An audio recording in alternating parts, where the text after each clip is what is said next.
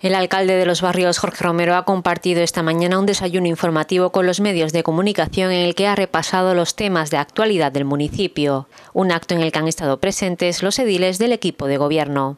El primero de los temas tratados por el primer edil ha sido el estado económico del ayuntamiento, donde Romero ha destacado los cinco años que el ayuntamiento, gracias a la gestión del equipo de gobierno, lleva dando superávit.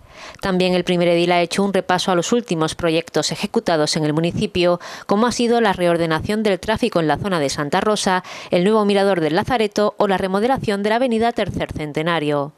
Romero también ha hecho referencia a las obras de mejoras en el Colegio Juan González y la instalación del ascensor.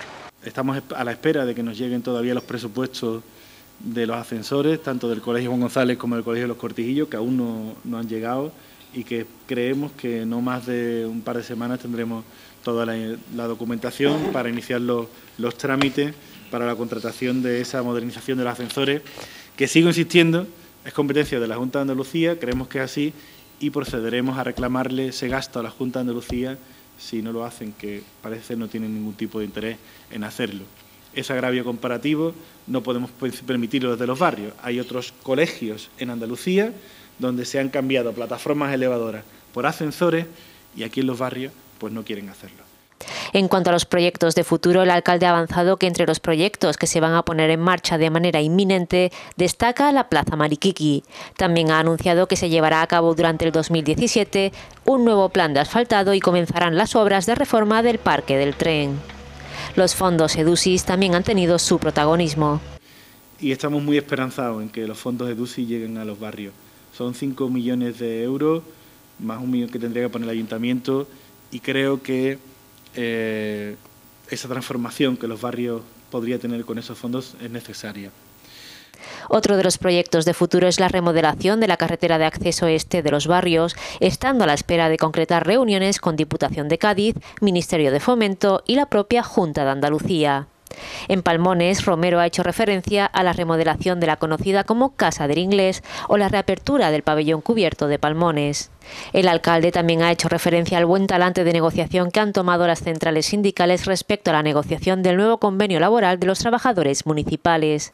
También ha anunciado que se ha recibido de la Mancomunidad de Municipios del Campo de Gibraltar un primer borrador del nuevo convenio de agua entre Ayuntamiento y el ente mancomunado Argisa, esperando que se cumplan las expectativas de los ciudadanos de los barrios de bajar el recibo del agua. El primer edil ha anunciado la puesta en marcha de un blog de prensa para contrastar informaciones. Para ello se pone en marcha un espacio en Internet que gestionará el gabinete de prensa del ayuntamiento. Romero también ha anunciado una campaña institucional de limpieza para concienciar a todos los vecinos de que entre todos se debe mantener limpio el municipio. Como siempre recuerda el alcalde, no es más limpio quien más limpia, sino el que menos ensucia. El alcalde, por otro lado, ha hecho un balance muy positivo de la fiesta del toro embolado recientemente celebrada y ha recordado que este próximo fin de semana se celebra la romería de San Isidro, esperando que igualmente sea todo un éxito. Además, el alcalde barreño ha aprovechado el encuentro informativo para avanzar algunos aspectos de la inminente Feria de Mayo, que este año se celebrará del 10 al 15 de mayo. Por último, Jorge Romero ha hecho hincapié en que, como ha avanzado en otras ocasiones, no será el candidato a la alcaldía del 2019. Tal y como prometió, estará como alcalde hasta el 15 de junio del 2019, fecha en la que termina su segundo mandato y será cuando pase el relevo al próximo alcalde. Mi cargo de alcalde termina, eh, creo que es el 15 de junio de 2019. O sea que hasta el 15 de junio voy a estar ejerciendo de alcalde, que es lo que, que digo que además me siento bastante realizado como persona y tengo una vocación enorme y aparte soy un enamorado de mi pueblo y me encanta trabajar para mi pueblo. Eh, eso que, valga en primer lugar.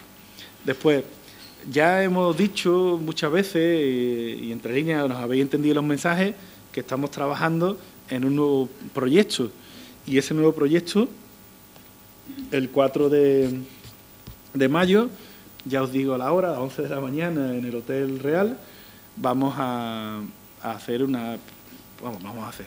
En este caso, Miguel, que es el secretario general, como ya sabéis, va a hacer una presentación y explicará un poco las líneas. Jorge Romero es un ciudadano de los barrios, comprometido con su pueblo, que ha hecho una promesa y que va a terminar esa promesa la va a cumplir con los ciudadanos de, de los barrios. Yo dije que iba a ser ocho años alcalde y voy a ser ocho años alcalde. mm, a partir de ahí, lo que suceda con Jorge Romero no dependerá tanto de Jorge Romero, sino de, de todas las circunstancias alrededor.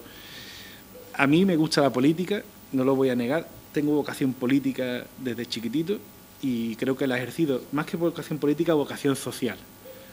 No me veo en mi casa mm, sentado viendo la tele, pero sí me veo en proyectos sociales y en muchas cosas que tengo en mente.